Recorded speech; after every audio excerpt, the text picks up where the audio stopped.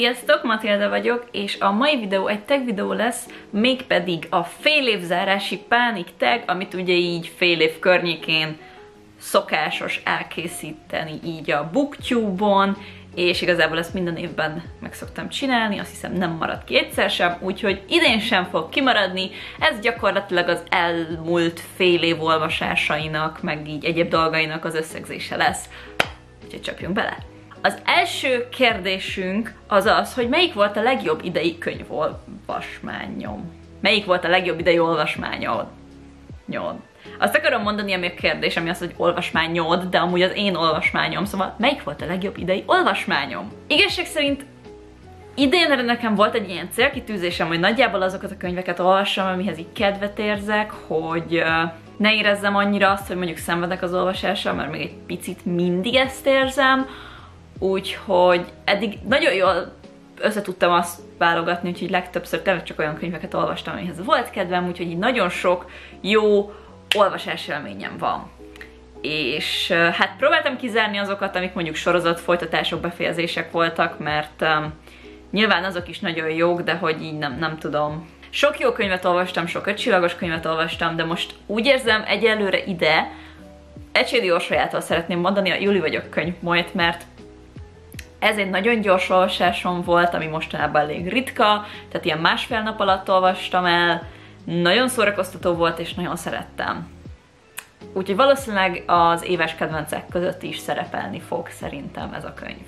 A második kérdés az az, hogy melyik volt a legjobb folytatás, amit idén olvastam. Ide kettőt is szeretnék mondani.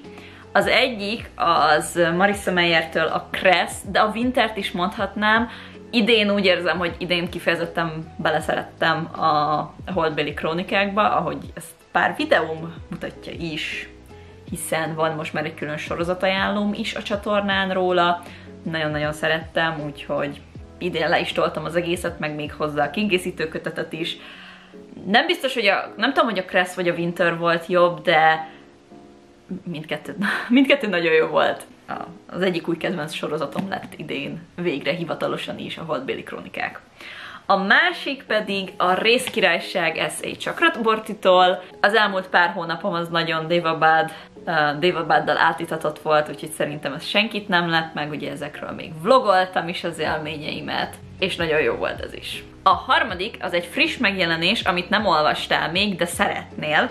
Um, ugye nemrég volt a könyvhét, úgyhogy azon, amit randalíroztam, az um, egyértelműen benne van, de egy, amire nagyon-nagyon kíváncsi leszek, bár még el kéne olvasnom hozzá előtte, vagy hát nem kell hozzá elolvasni, csak előtte szeretném azért letudni az Ólomerdő trilógiát, de mindegy, ez nem más, mint Kleinhans Csillától az Alvilági Szövedék, és azért nem mutatom fizikaiban, mert már megvettem, de nem, nem itt van, nem ezen a polcon van, hanem a pesti polcomon van, úgyhogy ezt nem tudom így mutatni. De azt nagyon szeretném idén elolvasni. Negyedik, legjobban várt friss megjelenés az év második felére. Az egyik, amit nagyon várok egyértelmű módon, az Rick Riordan-tól lesz a The Chalice of Gods, ami egy hatodik Percy Jackson könyv lesz, ami így hülyén hangzik, mert ugye kronológiailag valahol így a, az Apollo meg a, az Olympus hősei között játszódik, de ez egy ö, olyan kötet lesz, ami nagyon régen volt, mégpedig úgy lesz megírva, mint a Percy Jackson és az Olympus könyvek, tehát Percy fogja mesélni a sztorit, ami gimi. Nem érdekel, hogy gyenge lesz a sztori, maga kell Percy. Percy-nek a, a lénye. A Percy. Úgyhogy ezt nagyon várom, az őszfele fog megjelenni, hát ha addigra kijön a Percy Jackson sorozat is. Ez az egyik. A másik, ami meg egy magyar megjelenés, bár igazából van több is, amit így várogatok. Képregény megjelenések vannak, de ez, erre nagyon kíváncsi vagyok. Ez pedig a Kiki, Kiki's Delivery Service, ugye angolul a könyv. Nem tudom magyarul pontosan mi lesz a címe. Ez elvileg idén fog jönni a Gabónál még, és nagyon várom, mert én annól láttam ebből a, a filmet, és nagyon szerettem a filmet, viszont egy Pici Matildát traumatizálta, hogy a filmben egy ponton a macska, ami addig tudott beszélni, többé nem beszél benne, és engem megnyugtattak, hogy a könyvben ilyen nincs, úgyhogy a könyv nem fog ilyen szempontból traumatizálni, viszont nagyon-nagyon szeretném olvasni, mert nagyon kis kózinak tűnik, úgyhogy jéj! És nem fog traumatizálni, hogy a macska abba hagyja a beszélést. Mert az, az egy ilyen lelki törést okozott bennem annó, és a végén se beszélt, úgyhogy nagyon-nagyon rossz volt az a része a filmnek. Ötödik kérdésünk, melyik volt idén addig a legnagyobb csalódás? Ugyanabból az okból kifejezőleg, mint amit az első résznél is mondtam, így annyira nem olvastam olyan könyveket, amik kifejezetten csalódásnak mondanék. Lehet olvastam olyat, amit mondjuk alacsonyabbra értékeltem, de nem feltétlenül azért, mert csalódás volt, mert úgy érzem, hogyha készítem magam arra, hogy egy adott könyv annyira talán nem fog tetszeni, akkor ez kevésbé ér meg csalódásként, vagy ha nem hype fel magam, hogy ez bizony egy nagyon jó könyv lesz, és aztán nagyon rossz élmény lesz, az csalódás, de hogyha de vannak olyan könyvek, amiket így nem érek meg feltétlen csalódásként, még akkor is, hogyha nem olyan jó az értékelésem róluk.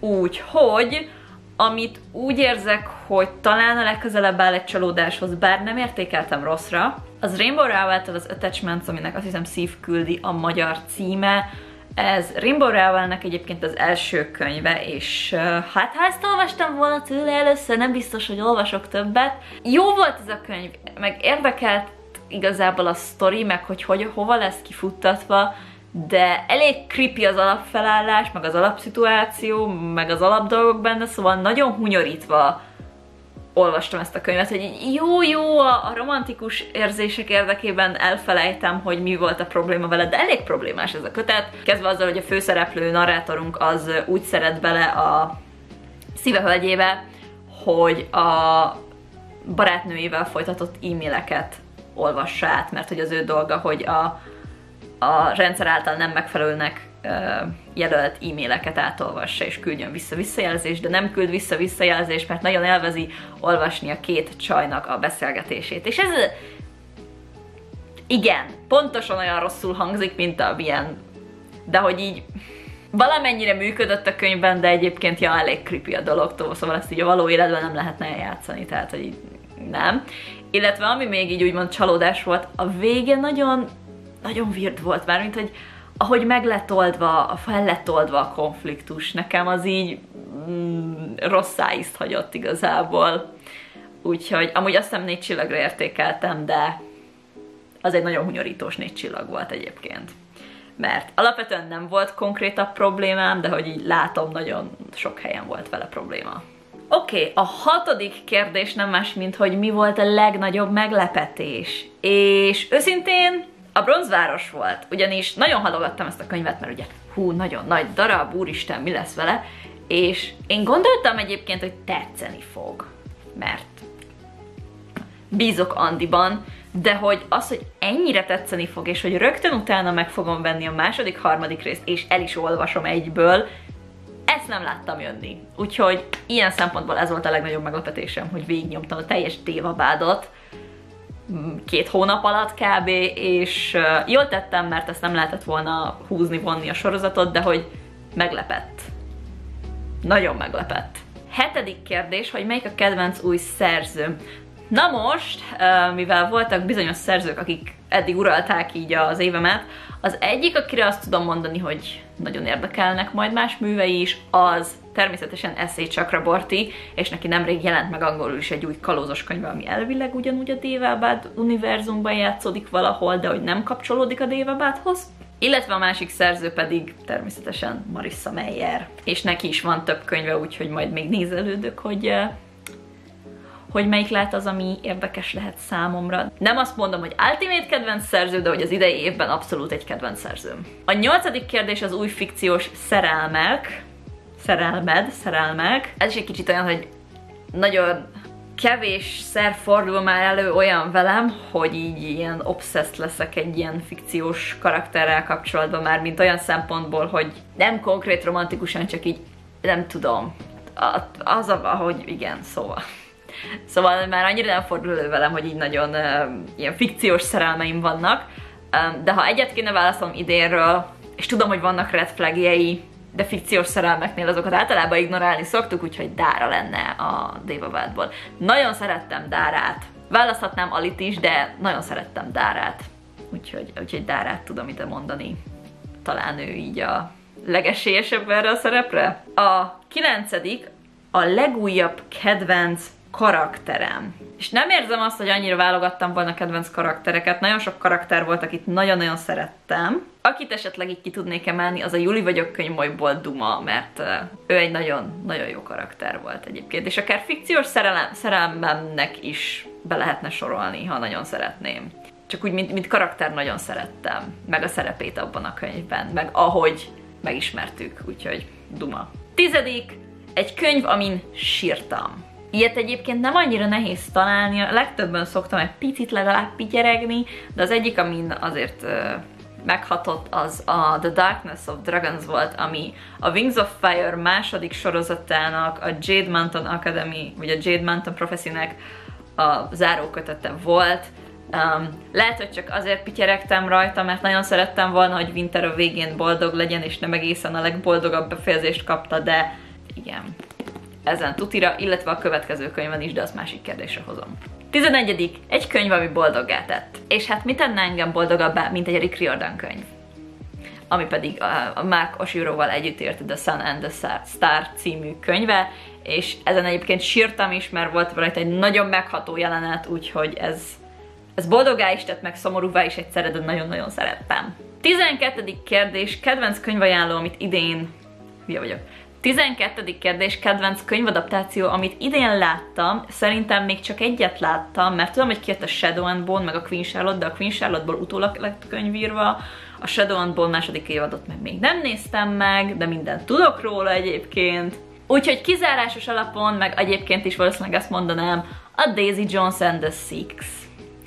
Nagyon szkeptikus voltam a sorozattal kapcsolatban, de nagyon jól megcsinálták, egy csomó minden van, ami szerintem még jobban is ki lehet hozna, mint egyébként a könyvben, úgyhogy nem gondoltam volna, azt hittem utálni fogom egyébként, és a zenék, a zenék, zseniális, úgyhogy uh, Daisy Jones and the Sixth.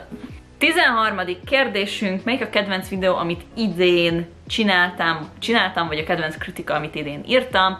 Az egyik kedvenc videóm az abszolút a sárkányos könyvajánló, ide be is fogom linkelni, mert sárkányos könyvajánló sárkányok, és nagyon szeretem a sárkányokat, na, és uh, végre megcsináltam ezt, hogy összeszedtem azokat a könyveket, amiket én sárkányos könyvnek definiálok, ami azt jelenti, hogy az nem elég hozzá, hogy van benne egy ponton sárkány.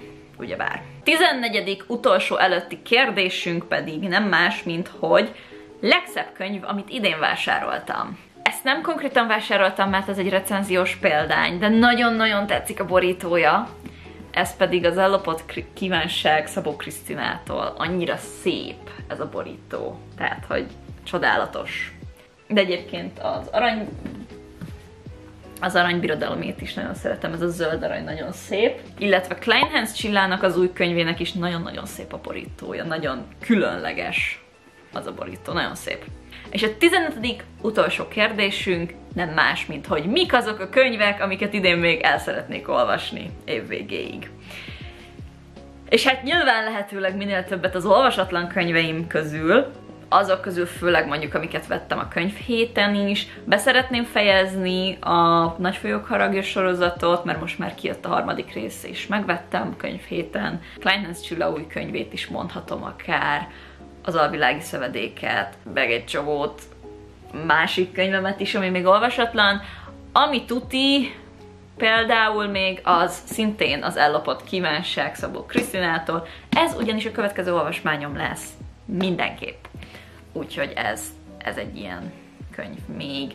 Azért nem tudok így nagyon előre tervezni, mert um, abszolút rámentem most arra, hogy tényleg azt szerint olvasok, amihez kedvem van, amihez hangulatom van, úgyhogy lehet, hogy úgy vagyok vele, hogy valamit most szeretnék elolvasni, aztán nem tudom, egy hónap múlva maga nem lesz egyáltalán kedvem hozzá, úgyhogy ennyire így most nem tervezgetek. Van egy rakat olvasatlan könyvem, valamit majd csak találok közöttük, amik tetszeni fognak éppen aktuálisan. Úgyhogy ez lett volna nekem az idei fél éves pánikolásom, bár nem pánikolok, én teljesen chill vagyok egyébként. A Goodreads Reading Challenge-emmel tök jól állok egyébként, viszonylag elégedett vagyok az olvasás mennyiségemmel is, um, és úgy mindezt úgy, hogy igazából úgy érzem, hogy nem nagyon van kedvem annyira olvasni, úgyhogy ahhoz képest tök jól állok, meg nagyon jó könyveket olvastam már idén, úgyhogy eddig abszolút sikernek tudom elkönyvelni ezt az évet olvasás szempontjából. Úgyhogy ez lett volna nekem az idei tech kitöltésem. Kommentben írjátok meg, hogy ti hogy álltok eddig idén,